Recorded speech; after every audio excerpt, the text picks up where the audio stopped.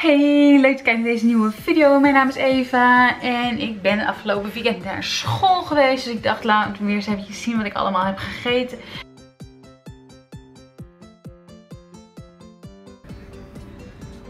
Ik begin mijn schooldag net als mijn gewone dag gewoon met water. Het enige verschil, oh en citroen natuurlijk. Het enige verschil is dat ik dan niet een hele liter opdrink voordat dat ik wegga. Want ik heb soms dan meer haast. Uh, ik moet om 8 uur dan de bus hebben. En dan red ik het niet om al een hele liter op te hebben voordat ik aan mijn havermout begin. Dus ik drink twee grote glazen wel met citroen. Ik maak ruim een liter en de rest neem ik gewoon mee naar school. Uh, wat heb ik gegeten? Gewoon heel simpel. Havermout uh, met blauwe bessen en framboosjes. Niet heel spectaculair.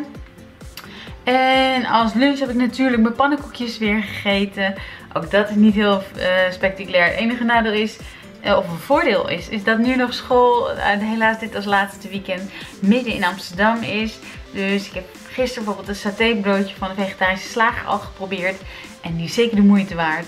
En nu een soort focaccia-achtig iets erbij. Uh, dus dat is gewoon een soort brood met gegrilde groenten erop. Ernstig aan te raden. dus zoals je al merkt, op een schoolweekend, nu ik daar nog de mogelijkheid toe heb, uh, ben ik ook al even meer aan het snijden en aan het snoeien. Dus um, dat betreft is het geen slechte zaak dat de school gaat verplaatsen. Uh, en als avondeten hebben we een soort bonenprut met tomaat en met aardappel.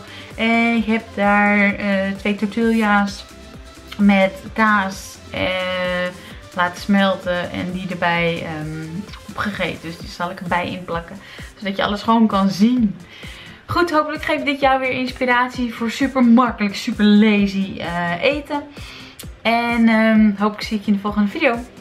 Hi!